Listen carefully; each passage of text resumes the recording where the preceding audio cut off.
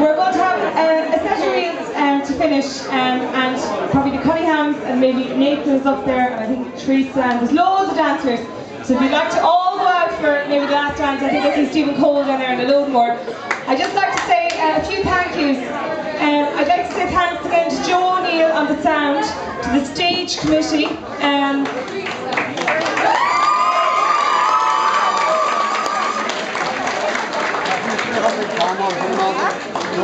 Um, and I'd like to sincerely thank um, Sharon and Declan Maher and Mick there. Um, as I said, a five minutes notice um, they gave us uh, the hotel and it was very kind of them and without them we wouldn't have um, a gig tonight. So thanks very much. A round of applause.